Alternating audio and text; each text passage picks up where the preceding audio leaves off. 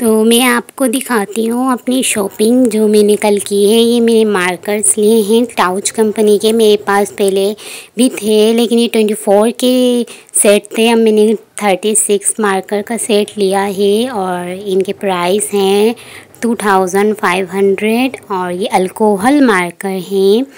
और इसके दो साइड पेन निप्स होती हैं। एक साइड जो होती है वो इसकी बारीक नोक होती है और इसकी दूसरी साइड जो होती है वो कट नोक होती है और ये बहुत अच्छे तरीके से ब्लेंड हो जाते हैं। इसके अलावा मैंने जो लिए हैं वो पेंट कलर हैं। ये एक बहुत ही अच्छे ब्रांड के हैं और ये जो है वो स्टील के केस में आते हैं और इनके प्राइस हैं नाइन हंड्रेड रुपीज़ और इसके अंदर आपको जो मिलेंगे वो थ्री सिक्सटी शेड्स देखने को मिलेंगे। यहाँ पर स्किन कलर के इन्होंने शेड अलग दिए हुए हैं और हर कलर के थ्री शेड्स दिए हुए हैं इन्होंने।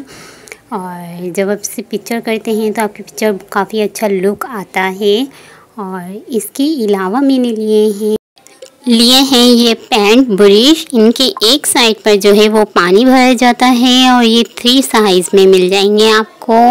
और इससे आपको पेंटिंग करने में काफ़ी हेल्प मिलती है। इसके अलावा मैंने ये ज़ीरो पॉइंट के ब्रशेस लिए हैं जिससे आप अपनी पेंटिंग की आउटलाइन वगैरह अच्छे से कर सकते हैं और मैंने यहाँ पर लिए हैं।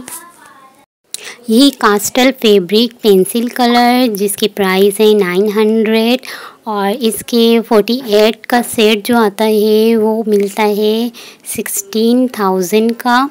ये काफ़ी अच्छे कलर्स होते हैं ब्रांडेड कलर होते हैं। इससे आपकी पिक्चर जो है, वो काफ़ी अच्छा इफ़ेक्ट मिलता है। और ये ट्वेल्व का सेट लिया है मैंने। और इसके अलावा जो मैंने लिया है, वो ये अल्कोहल है। इससे जब आपके मार्कर वगैरह सूख जाते हैं ड्राई हो जाते हैं तो ये उसमें आप डालेंगे तो आपके मार्कर दोबारा से पहले की तरह वर्क करने लग जाएँगे। और मैंने एक वाइट पेन भी लिया है वाइट जेल पेन जिससे हम डिटेलिंग करते हैं।